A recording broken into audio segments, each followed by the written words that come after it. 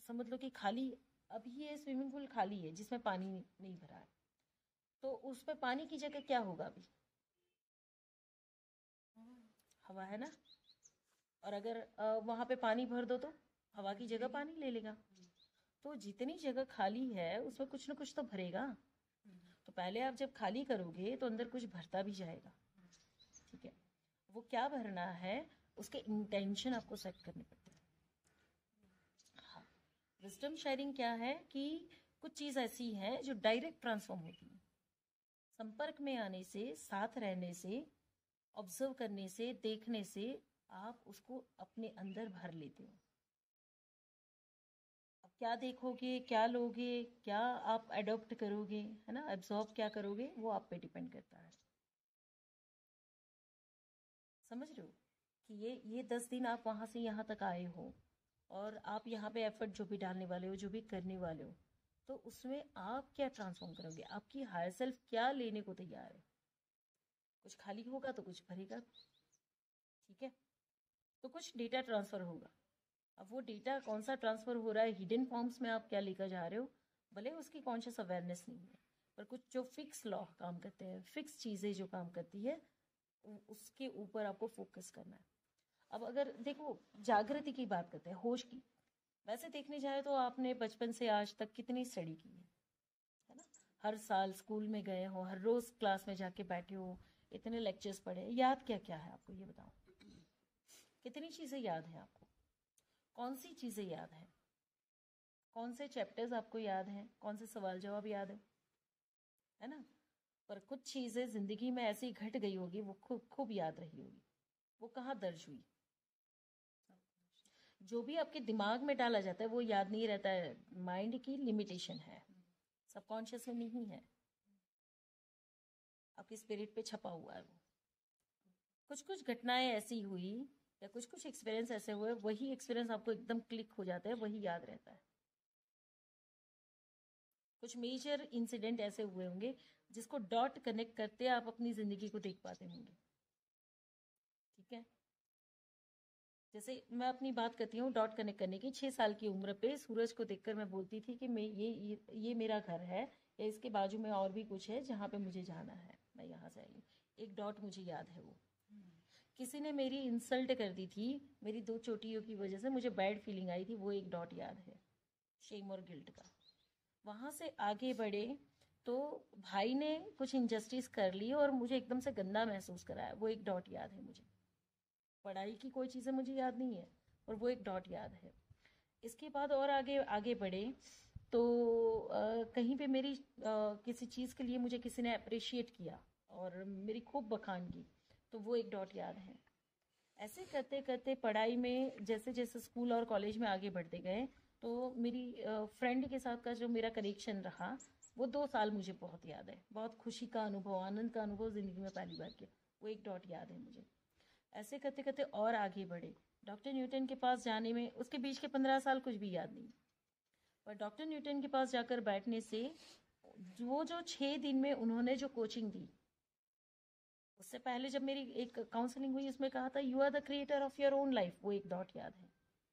उससे पहले कोई एक फकीर बोल गया था कि तेरे तेरे तेरा, तेरी तकदीर का सितारा आसमान की बुलंदियों पे होगा, वो यहाँ पे छप गया, वो एक डॉट याद है। तो इतनी बड़ी ज़िंदगी, उसमें कितने डॉट आपको याद है? क्योंकि पंद्रह से बीस। And that is called life जो जो आपकी स्पिरिट सेल्फ पे छपा, ठीक है? जहाँ पे कुछ सेकंड के लिए खिड़की खुली, आपकी आत्मा ने बाहर झांका, वो चीज़ एब्सॉर्ब कर ली वो आपके ऊपर छप गई, आपकी मेमोरी में बैठ गई। अदरवाइज़ आपने कितने चैप्टर्स पढ़े, कितने स्कूल कॉलेज के एक्सपीरियंसेस आपने किए? याद कुछ भी नहीं है। एक भी चैप्टर याद नहीं है। हिस्ट्री के कोई चैप्टर याद नहीं है। मैथमेटिक्स कुछ भी याद नहीं है। गणित, गुजराती, हिंदी, कोई भी सब्जेक्ट कुछ भी याद नहीं है कौन से लेसन थे। क्योंकि वो हमने रट्टा मारा, दिमाग से पढ़ा।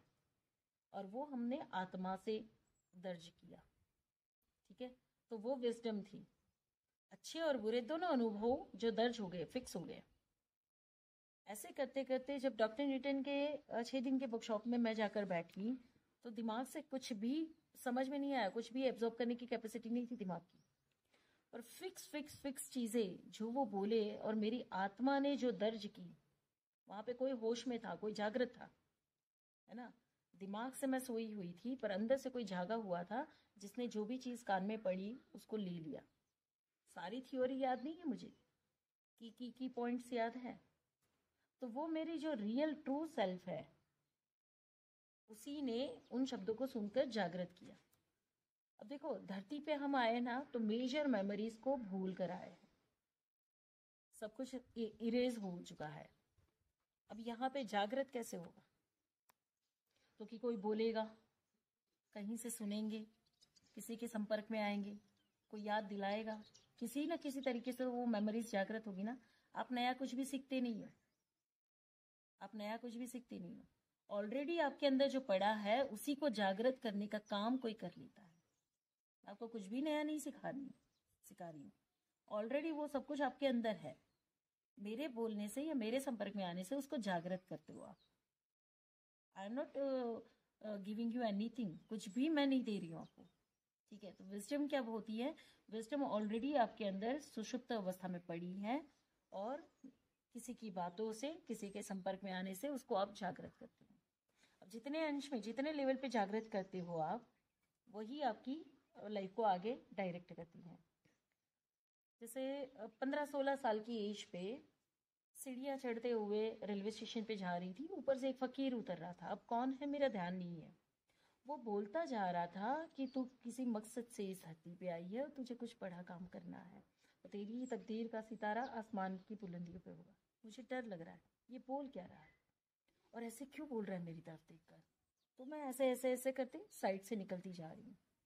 और ऊपर जाते जाते एकदम से आ, आ, फील हुआ कि कुछ बोल रहा है वो मुझे कुछ बोल रहा है। अंदर कोई जाग रहा था जो उसको सुन रहा था। और इतना ही सुनने की ज़रूरत थी। उस दिन से लेकर आज तक उस फकीर के शब्द और मेरी ये ज़िंदगी चली जा रही मतलब जागृति कोई करा गया? अब उससे मेरा कोई लेना देना नहीं। और पीछे मुड़ के देखो तो वो फकीर भी नहीं है। तीन मिनट के अंदर अंदर वो कहाँ गायब हो गया पता नहीं चला। तो बस इतनी जागृति की ज़रूरत थी। और जैसे ही वो उद्देश्य जागृत करवा के गया, उस दिन से लेकर आज तक उसी उद्देश्य से जीती जा रही कि कोई मकसद है, कोई मकसद है, कोई मकसद है। ये विस्टम है। जो मेरे अंदर सोई पड़ी है, किसी ने जागृत करवा दी। फिर उसी को खोजते खोजते यहाँ तक पहुँच गए।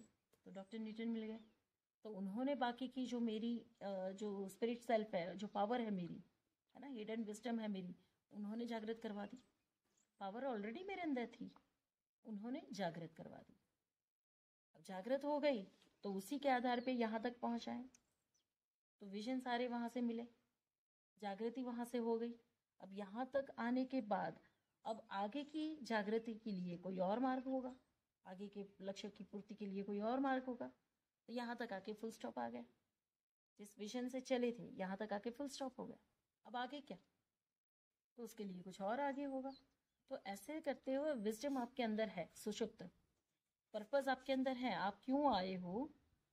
ये आपके अंदर है। बस वो डॉट कनेक्ट करने वाली बात है।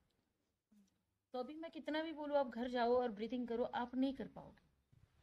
समझ लो या ये प्रैक्टिस करो, या ये करो, नहीं कर पाओगे। क्यों? तो कि अंदर की जो सोई हुई विजडम है, वो पर्टिकुलर कोई एक कीवर्ड होगा जिससे जागृत होने वाली है। हज़ार शब्दों से जागृत नहीं होती है। पर्टिकुलर कीवर्ड जो आपकी आत्मा को झंझोड़ देता है। सुषुप्ति चल रही थी और एक काउंसलर काउंसलर ने बोला कि you are the creator of your own life यानी कि सेकेंड अवेकनिंग मेरी यहाँ पे हुई। फ़र्स्ट अवेकनिंग उस फकीर के कहने से। तब तक तो मैं तो विक्टिमाइजेशन में जी रही हूँ। तभी तक तो मुझे कुछ भी पता नहीं है कि मैं किसी मकसद से आई हूँ। वो पहली अवेकनिंग उसके बाद दस साल ऐसे चले गए। सेकेंड अवेकनिंग उस काउंसिलर की वजह से जब मैं खूब डिप्रेशन में, और वो, उनका बोलना हुआ कि you are the creator of your own life ये सेकंड की पॉइंट था मेरा। कि जहाँ से मेरी जागृति हुई। और ये you are the creator of your own life ये जो जागृति मेरी हुई इस की वर्ड से वहाँ से मैं खोजते खोजते डॉक्टर न्यूटन तक पहुँची। यानी पास्ट लाइफ कंटिन्यूस अब बच्चे थे तब से रास पिछले जन्म का सीरियल आती थी। उसको देखते थे तो बड़ा अट्रैक्शन होता था। पर कभी ये नहीं सोचा था कि ये मेरे लिए है। तो you are the creator of your own life ये कीवर्ड जब मुझे मिला तो वहाँ से मैं खोज रही हूँ और मुझे एक मेरे टीचर थे, उन्होंने बताया कि ये पास्ट लाइफ रिग्रेशन कराते हैं डॉक्टर न्यूटन तीसरी अवेकनिंग मेरी वहाँ पे हुई कि मुझे ये करना है, मुझे ये करना है। से जब मैं उनके पास गई, उनसे सारी टीचिंग जो भी थी, वो एक्टिवेट कर ली। तो उनसे मुझे एक विजन मिला जो परफेक्ट बैलेंस्ड कपल का, शिव शक्ति का। वो चौथी अवेकनिंग ये स्वरूप प्राप्त करना है। और उनसे दूसरा एक विजन मिला, जो पूरी लाइफ को शिफ्ट करने वाला जो प्रोग्राम है, कि किस तरीके से वाटर बर्थिंग से न्यू न्यू जनरेशन में बेबीज को बर्थ देना है। और ये सेंटर बनाना है, वो चौथी अवेकनिंग हुए चार अवेकनिंग हुई मेरी, चार। उसमें कीवर्ड्स काम करते हैं। पहला कीवर्ड फकीर का। You are here for some big purpose दूसरा keyword you are the creator of your own life तीसरा कीवर्ड, वो स्वरूप बैलेंस फॉर्म ये यहाँ से मुझे पता चला कि ये स्वरूप प्राप्त करना है। और वहाँ से चौथा कीवर्ड मुझे क्या मिला? विजन सेंटर का और बेबी बर्थ का। यानी इतने डिज़ाइन बन गई मेरी लाइफ की। यहाँ तक जब तक ना पहुंचो, तब तक मेरे को चैन नहीं पड़ना ये लक्ष्य पूरा करना है। यानी उद्देश्य डॉट कनेक्ट हो गए मेरे। समझ रहे हो? तो ये हो गई विस्टम अभी तक आप विस्टम को कैसे समझते हो? कि विस्टम आपको कोई देगा? है ना? गुरु ने आशीर्वाद में शिष्य को देगी किसी ने किसी को दे दी। ऐसे नहीं होता है। विस्टम आपके अंदर है सुषुप्त अवस्था में। और ऐसे कीवर्ड्स हैं जब तक वो कीवर्ड आपको ना मिले ना तब तक आपको भटकना है। खोज करनी आप क्या खोज रहे हो? कुछ खोज रहे हो? कुछ खोज तो क्या खोज रहे हो? कि ताला आपके पास है उसकी चाबी किसी के पास हम्म ताला आपके पास पड़ा है, पर लॉक है। उसकी चाबी किसी के पास है। और जब तक वो चाबी नहीं खोज लेती हो, तब तक आप भटकोगे। तब तक सेटिस्फेक्शन नहीं आएगा। अब वो चाबी आप ही को पता है। मुझे नहीं पता है कि वो आपकी चाबी क्या है। ऐसा मेरे साथ आते आते, रहते रहते हो सकता है कुछ शब्द ऐसे निकल जाए जो आपको चाबी के रूप में मिल जाए। और आपने वो चाबी लगा लेनी है, ताला खोल देना है। हो सकता है उसके बाद दूसरी बार आपको मेरा मिलना भी ना हो या आप मुझे ना मिलो। आप अपना ताला खोल के अपनी दिशा में और आगे बढ़ो। फिर नेक्स्ट कीवर्ड खोजना है। कब तक खोजते रहोगे? जब तक आप अपने अंतिम लक्ष्य तक नहीं पहुँचते हो।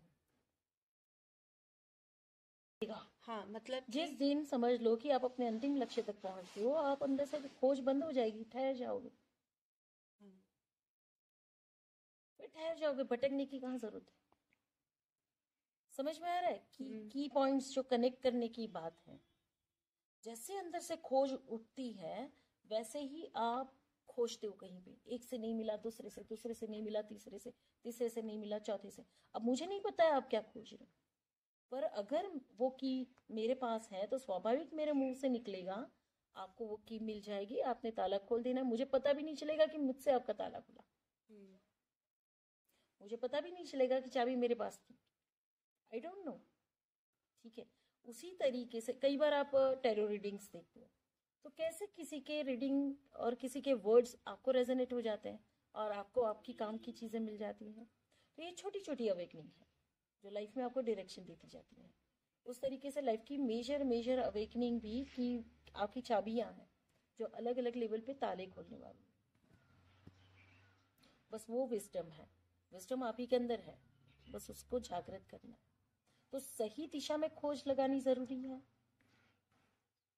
अब गलत और सही जैसा कुछ नहीं है। सही दिशा में खोज लगाने का मतलब क्या है? गलत और सही कुछ नहीं है। अब जिस भी दिशा दिशा में जाते हो हो सकता है मार्ग बंद हो जाएगा तो फिर से आप आप ऐसे ऐसे ऐसे करते सही दिशा में लगा ही दिए जाके चाहे इधर भटको चाहे इधर भटको पर आपको सही दिशा में ले जाया जाता है। वो भी कोई प्रॉब्लम नहीं है। पर थोड़ा आसान और हो जाता है जब आप अपने साथ अलाइंड होने लगते हो। जब आप अपनी ब्रीथिंग से अलाइंड हो जाते हो अपने साथ अलाइंड हो जाते हो तो भटकन कम हो जाती है और सटीक सीधे मार्ग पे लगते हो आप। बस इतना सा। है क्लियर समझ में आया? व्हाट इज़ विस्टम ऐसे की पॉइंट्स पकड़ने हैं। डॉट कनेक्ट डॉट कनेक्ट करने हैं।